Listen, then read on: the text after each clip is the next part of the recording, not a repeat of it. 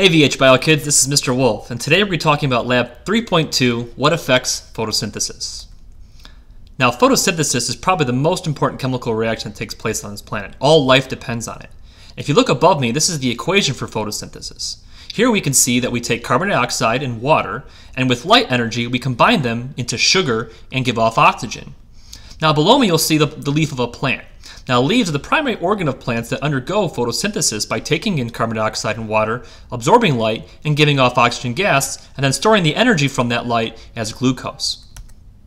So in this investigation, we'll be using spinach leaves as our plant organism. Now to measure photosynthesis, we'll be using a CO2 gas sensor made by Pasco. Now this sensor measures the amount of carbon dioxide present in the air, and so we should see, as photosynthesis occurs, a decrease in the amount of carbon dioxide. Now to show you how this Pasco sensor works, I'll turn it over to Cynthia. Hi, my name is Cynthia Sargent and I'm the biology curriculum developer and trainer here at Pasco. And today I'd like to share with you our plant respiration and photosynthesis lab. Traditionally, labs might be done with Elodea, putting Elodea in water with an indicator like bromthymol blue, and waiting 24 hours to see results. The advantage of this lab is it helps students visualize what's happening directly to the carbon dioxide levels. They can see it in a matter of seconds to minutes. They don't have to wait a long time. And they can see on a graph display the actual change in carbon dioxide, helping them relate carbon dioxide directly to the processes of photosynthesis and respiration. The materials are very simple for the lab. We're going to use spinach that was just purchased at the grocery store a carbon dioxide sensor in the sampling bottle that came along with it, some foil, and a lamp.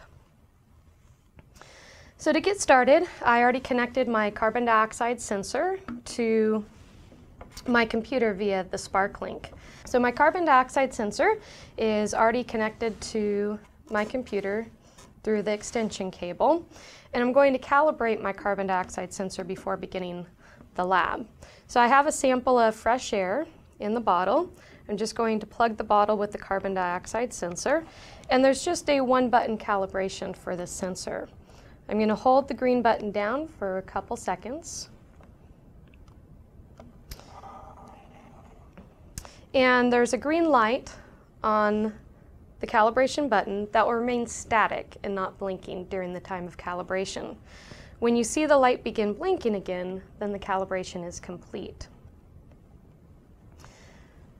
I have this SPARKvue software open on the laptop computer, and the page will display the carbon dioxide concentration. It's not recording any data at this point, but it will display the carbon dioxide concentration for me. When calibration is complete, I'll see a number around 400 parts per million. Now that the calibration is complete, which I know from the light beginning to blink again, I'm going to remove the carbon dioxide sensor from my sampling bottle. I'm going to place one or two spinach leaves into the bottle. It just kind of depends on the size of your spinach leaves. I've gently blotted the leaves so that they're mostly dry. And ideally, we would have the spinach leaves lay flat. So I'm going to put spinach leaf just through the opening of the bottle. And I'll go ahead and put a second one in.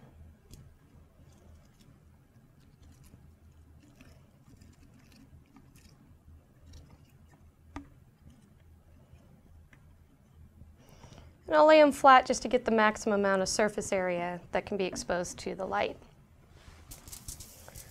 And take a square of aluminum foil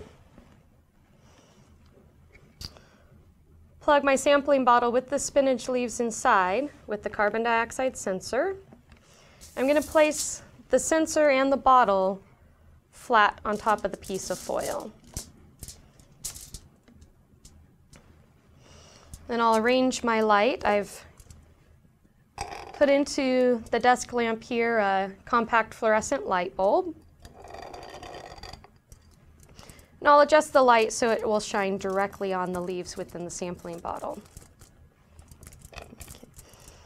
Before I begin data collection, I'm going to need to open up a page or build a page in the SPARKvue program. I'm going to choose Build.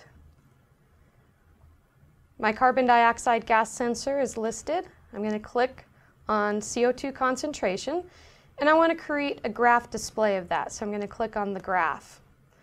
But I also am interested in seeing a digits display of carbon dioxide concentration. So I'm also going to select the number button here, and that's going to give me a digits display. So we'll be able to see a graph and the parts per million in digits as the data is collected.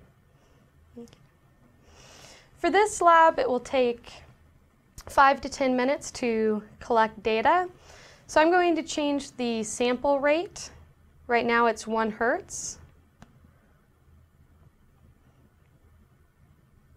I'm going to change that to seconds.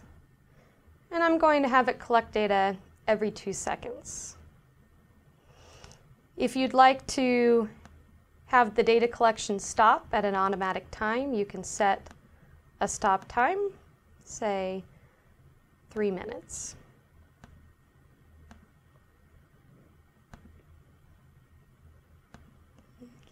So I'm now ready to begin data collection. I'm going to turn on the light and I'm going to let the light shine directly on the bottle with the spinach leaves inside for about 30 seconds or so.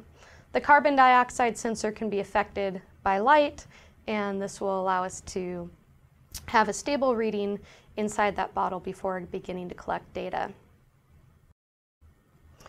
When we're ready to collect data, we're just going to hit the play button to begin data collection. Now you can see a few data points being collected near the axis of the graph there. We're going to want to scale the axes to be able to see the greatest view of our change in carbon dioxide concentration for the bottle. So I open up the graph tools and I'm going to choose the scale axis button.